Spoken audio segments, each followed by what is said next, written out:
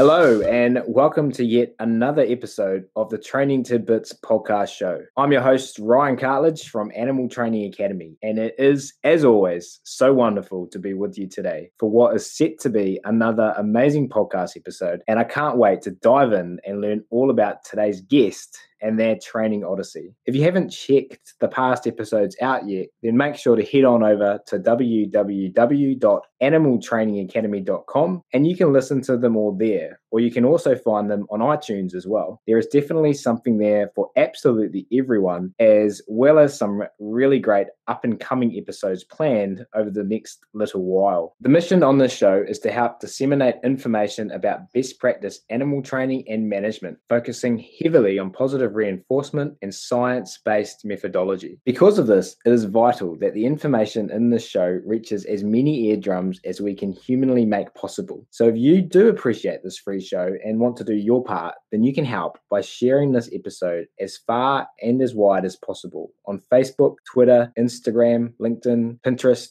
or wherever you are hanging out on social media. That would be really, really appreciated. But let's now introduce you to today's guest, and I'm really excited because in this episode, we're going to travel to a part of the world we haven't visited before on the show, and that is Denmark to talk to positive reinforcement dog trainer Jan Østergaard. Jan runs a part time dog school called Canis Skive, where he teaches clicker training, shaping, and basic skills. Jan started his career in the local dog club attending puppy class, and it didn't take long before he was absolutely hooked on dog training. He started learning what he needed to do to become an instructor in 2009, and at the time was taught mostly about luring and handling, and not much about the dog learning new behaviors via reinforcement. A year later, though, he became a trainer educating others in obedience for competition. At about the same time, Jan met some other trainers, and they were talking more about clicker training, voluntary behavior, and back chaining. And to Jan, this sounded much more what he likes to call real dog training. Jan started to use these techniques with his own dog and suddenly started to win some of the competitions he was entering. Sure enough, once again, Jan was hooked. In 2010, Jan also became associated with Canis Silkeborg and became heavily influenced by dog trainers Katja Pedersen and Lotte Sørensen. Jan took the Canis Clicker Training certification, which he finished in 2011, and started his own school under the umbrella of Canis in 2014. Over the last couple of years, Jan's interest in obedience has been slowly replaced, and he now focuses heavily on certain techniques mentioned earlier clicker training, voluntary behavior, back chaining, and shaping. As a person who continually is seeking out development opportunities, Jan then traveled to Norway in 2015 and completed a more advanced instructor certification with Canis, which brings us up to modern day where Jan is about to go international to teach others about his techniques. It is without further ado that I'm very excited to introduce to the show this morning slash evening in Denmark, one Jan Østergaard. Hello, Jan. Are you there? Yes, hello, Ryan. I am. Hey, it's so great to have you on the show today, Jan, and thank you for taking time out of your day to be here. Yeah, it's an honor.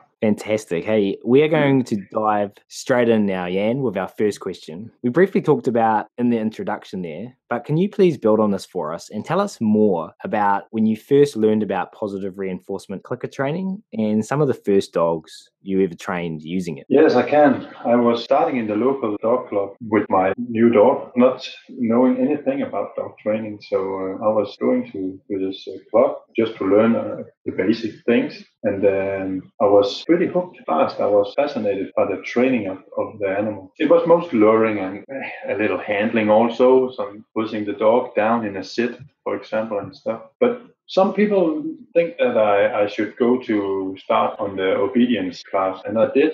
Again, I was pretty hooked right away. And to say the first competition I was in, the two or three first competition I was in, it was a disaster.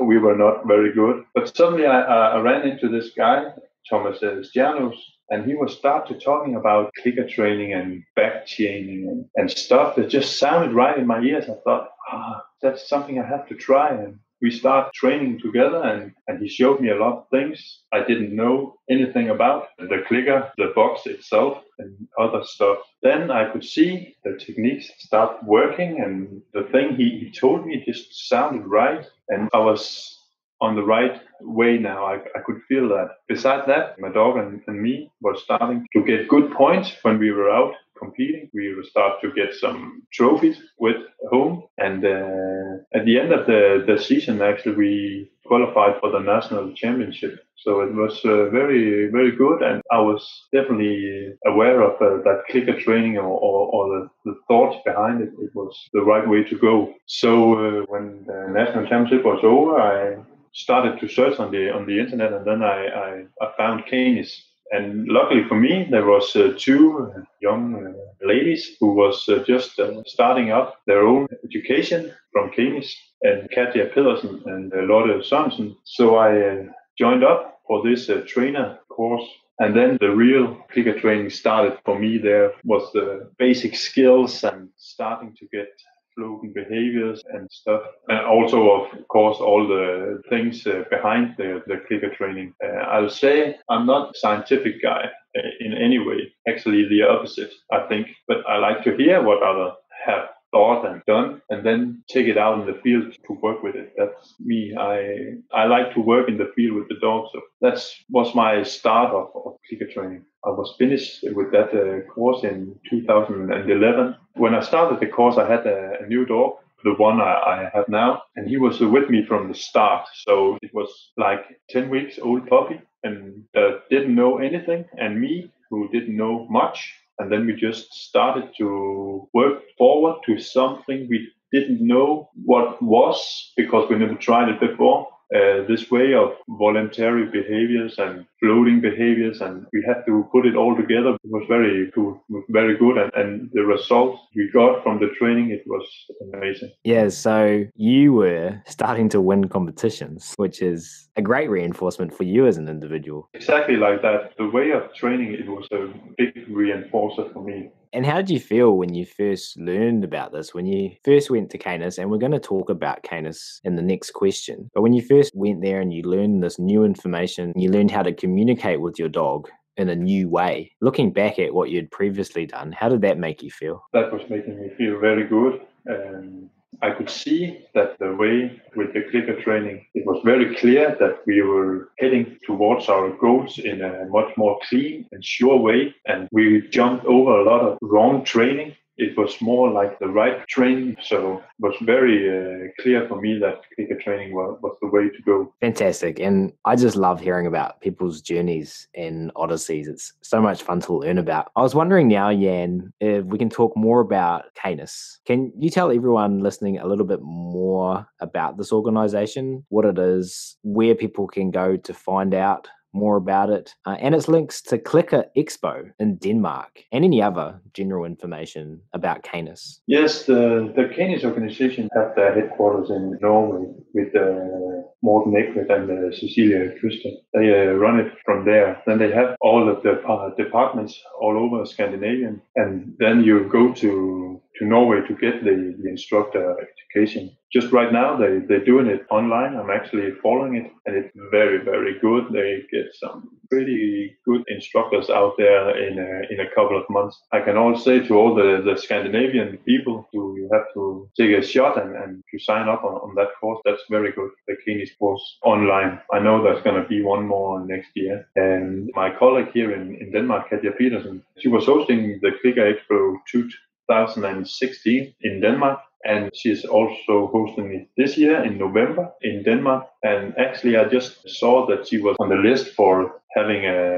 a speak also at the Clicker Expo. So that's very exciting for, for Canis. And of course, our own Cecilia is also being on that list, so that's very good for us. Uh, the hat off for bringing the, Clicker to Denmark two years in a row in, in the name of Canis. So that that's very good. Yeah, and it's exciting for the Scandinavian people to have this amazing opportunity right at their doorstep. So, can you maybe tell us a little bit more about the creators of Canis and how long it's been going for and some of the names you just mentioned? The, the founders, uh, Morten and Cecilia, they are from Norway and they run there. There's a school from a city named Trondheim. They have uh, Morten and Cecilia up there and they have three or four books on, on training, very popular here in Scandinavia very good book that is uh, clicker training for your dog. We call it the Bible in Denmark because it's describing everything from the first time you get your dog home to finish and you're ready to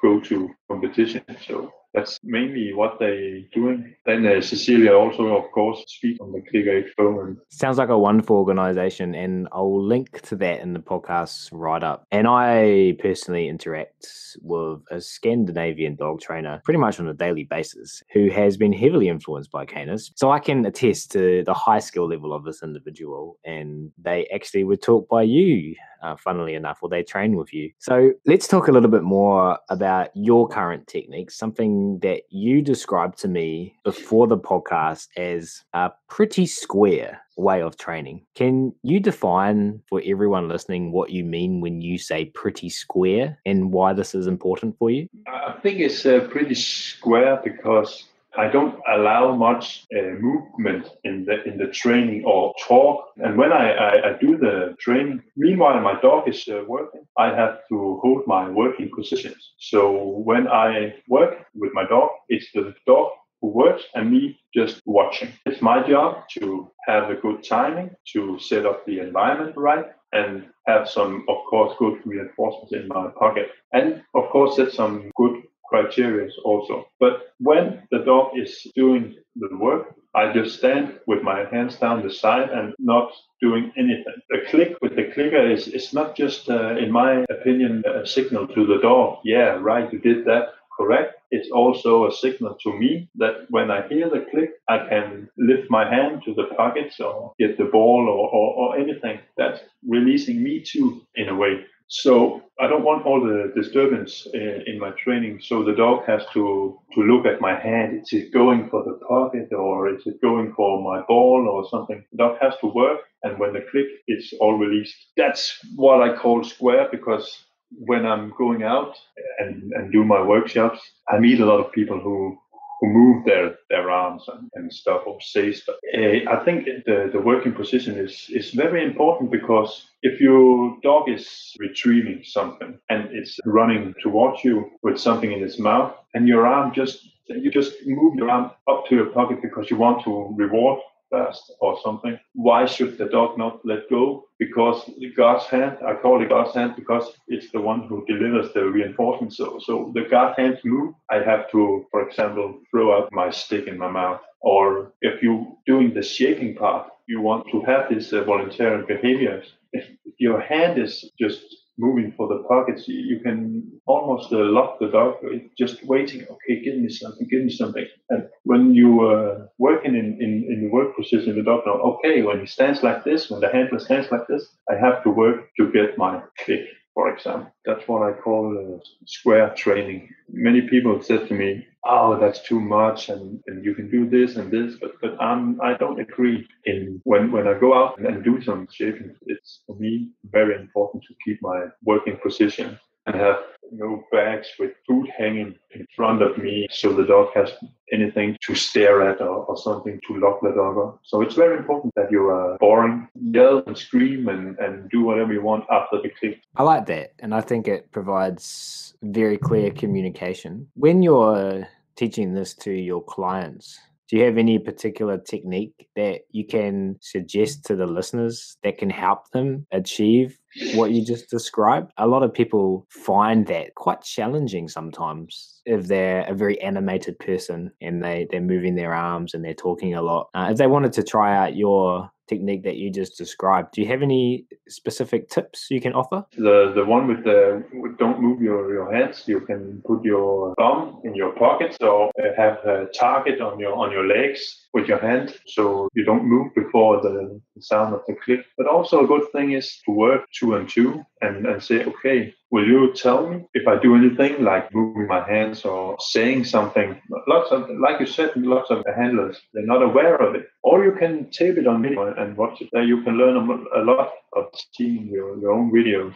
I was making one video some day and I saw myself every time I clicked because I have to deliver the, the treat fast. So every time I click, my hand was almost at, at height with my pocket. I saw that on, on, a, on a video one day and I ah, have to do something about that. So work together two and two or uh, some of your training on the camera. That's a good one. And then target your hands to, the, to your pants or something. Yeah, great tips. And thank you so much for sharing that, Jan. It was a lot of fun to learn about. We'll move to the next question. And as mentioned in the introduction, you are about to take your dog training internationally this year and you're traveling to the US to do some events. This is really exciting. Can you tell everyone listening a little bit more uh, about what you have planned for your time away? Yes, I can do that. I have been posting some videos on, on my Facebook page. And, suddenly a day, one day, a lady from Minneapolis, uh, Stephanie, she was contacting me and asked if I ever thought of going to US. And of course, it, it, was a dream to go to the US for some workshop, but I never thought of it on that way. I, have been doing some some workshop in, in Spain for two years uh, in Mallorca. It was very nice, and uh, yeah, I like to go out. It was actually one of the things by by posting all my my trainings. How can I get some jobs? Uh, around the world to go out and see how, how other people train and, and meet some exciting people. And when she wrote me, I was, of course, very flattered. And I was not sure that the economy was to hang together. So I, I just said, yes, you can sign me up. I'll come with my family and we'll take a, like a vacation. I contacted by actually a, a Danish uh, woman called uh, Camilla. Uh, she from Montana, uh, up in Billings, Montana. So she was saying, "Oh, when you are in the States, can you come to my part also? Uh, oh, yeah, of course, I travel to, to the US, so, so why not? I said yes, uh, actually right away, because I was also positively reinforced by them asking me, of course, and it's just an opportunity I can't uh, let go. And I have seen a lot of course, YouTube, uh, Facebook, and videos with training from yeah from America and England and so on. I think I got something to offer. I like to call it the, the Scandinavian way. I, I think it's a little different from, from what I have seen. Maybe wrong, I don't know, but it's very exciting. And, and I think the, the people who join up for the seminars or the workshops, they're gonna have uh, they're gonna have an experience. So we will add some links in the show notes for this trip. And if you're in that area, the workshops are going to be in September. Is that right, Jan? Yeah, that's correct. In the second and third weekend in September.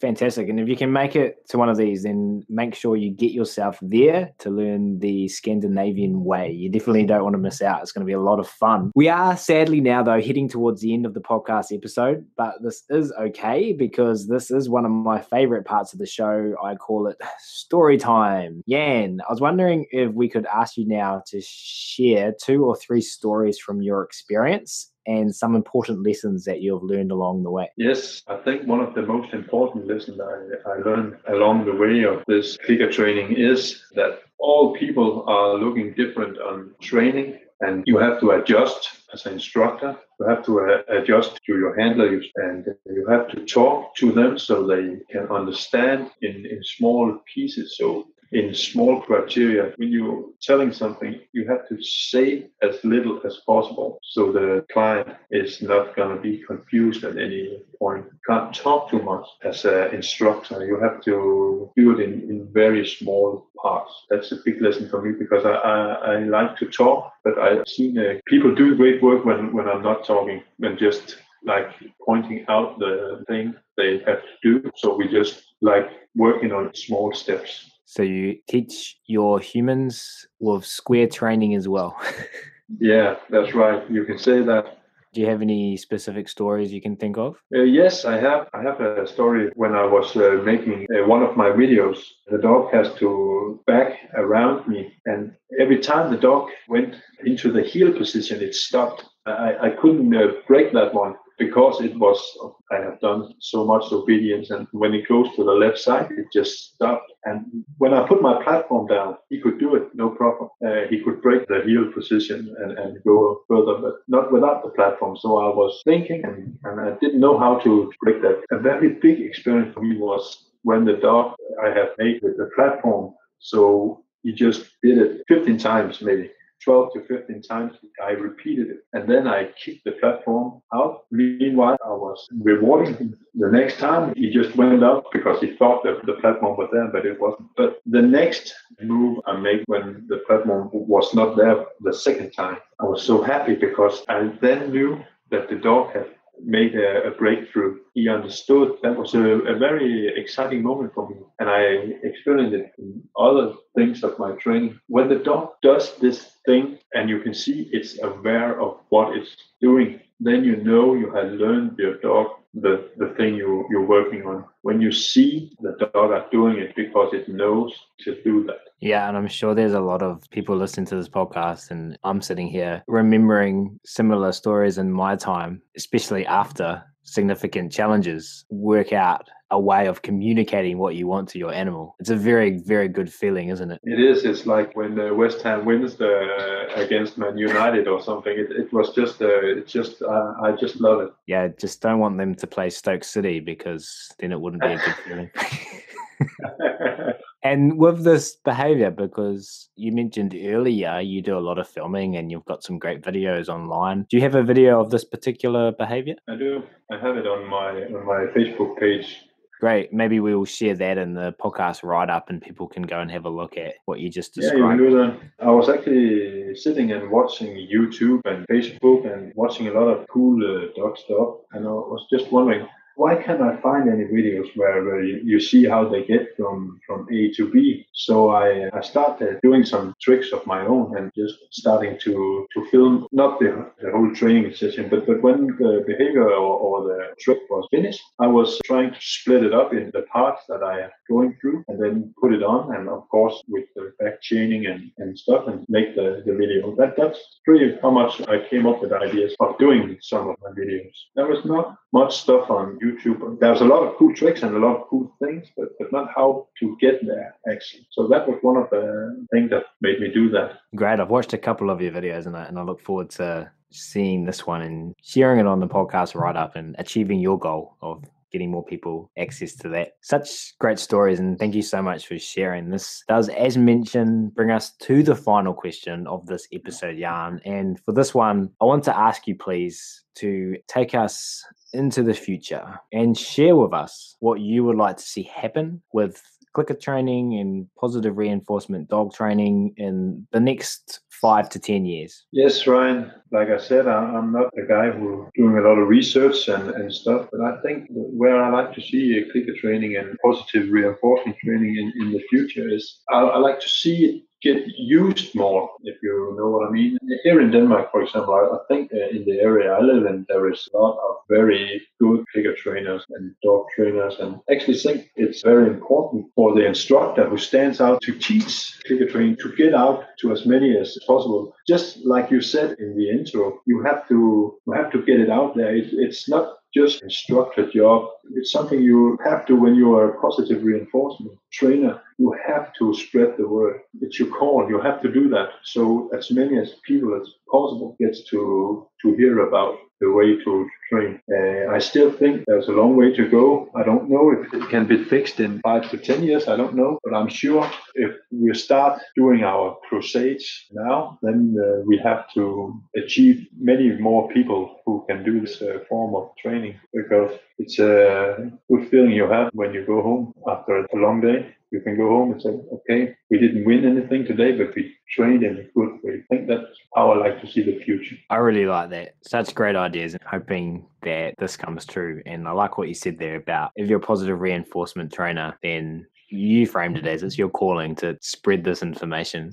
Jan, this has been so much fun, and we really appreciate you taking the time out of your Sunday evening to come and talk to me today. So, from myself and from everyone listening, a huge thank you, Jan. It's been an absolute pleasure. Yeah, thank you, Ryan. It's been a pleasure to, first of all, meet you and, and also do this. It's very great. Definitely. And I hope that all of you listening out there have enjoyed this episode as much as we enjoyed making it. As mentioned at the start of the podcast, this show is and will remain completely free, where we will travel all around the world talking to positive reinforcement animal trainers, best practice enrichment specialists, and experts in behavior management. We really appreciate all of you tuning in. And I want to build upon what Jan just said and ask that small favor of you. If you do enjoy these podcasts and as a positive reinforcement practitioner yourself, you feel that the information held within could help other trainers and animals whom this information might not have reached yet, then please share this episode wherever you can on your Facebook, your LinkedIn, your Instagram, your Pinterest, your Snapchats, whatever you use, so that as a community, we can do absolutely everything within our power to do, as the wonderful Susan Friedman says, and change the world